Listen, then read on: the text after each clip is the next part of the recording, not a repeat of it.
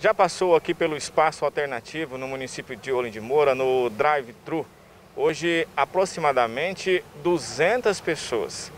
De acordo com as informações, dessas 200 pessoas, 21 já testaram positivo a Covid-19.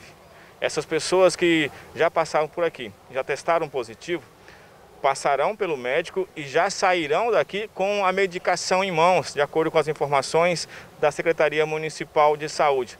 Porém, para acontecer esse drive-thru aqui no município de Rolim de Moura, está contando com a participação da Vigilância Sanitária, Secretaria Municipal de Saúde, Polícia Militar, a CONTRAN, DETRAN, todos eles estão envolvidos aqui para poder realmente receber essa população, essa grande quantidade de gente que está aqui no espaço alternativo, né, controlando o trânsito. Realizar 400 testes hoje até meio-dia.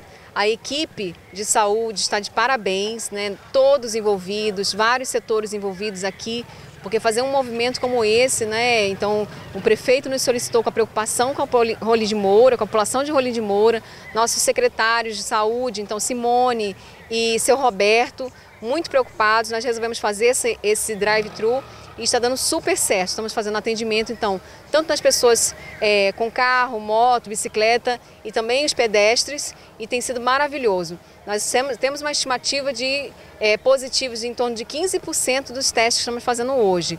Tem vários pacientes que estão sem sintomas e tem pacientes também que estão com sintomas. Aproximadamente quantas pessoas já passaram por aqui? Em torno de 200 pessoas nós fizemos o atendimento e tem uma fila. Mas é um ambiente está extremamente organizado. Essa semana nós trabalhamos é, em função dessa organização para cuidar das pessoas de Rolim de Moura. É um momento que a gente tem que ter esse olhar de proteção e quanto mais cedo nós detectarmos Covid nas pessoas, é, mais fácil vai ser de tratá-las, de isolar esse paciente e ele ficar curado mais rápido.